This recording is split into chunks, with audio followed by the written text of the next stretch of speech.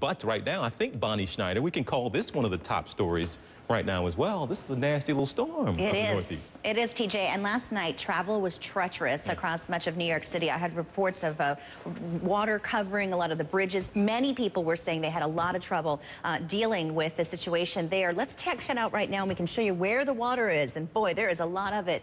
New York City catching a break, but Boston, it's not over for you yet, as well as the rest of northern New England. This classic nor'easter is just hammering New England with heavy rain and very strong wind. You can see a little bit of white right here in the higher elevations of Vermont, New Hampshire. We had some reports of light snow from this system way up in the mountains there.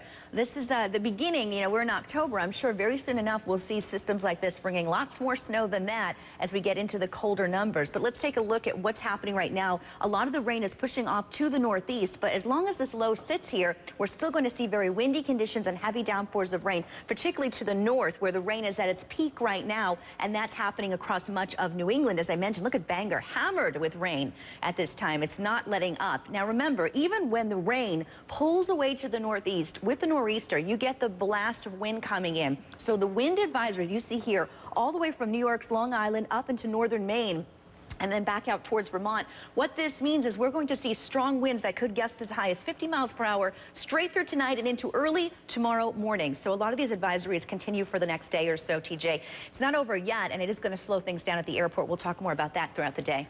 Yeah. Thank you, Bonnie Schneider. Sure. Appreciate you. Good to see you, as You always, too. by the way.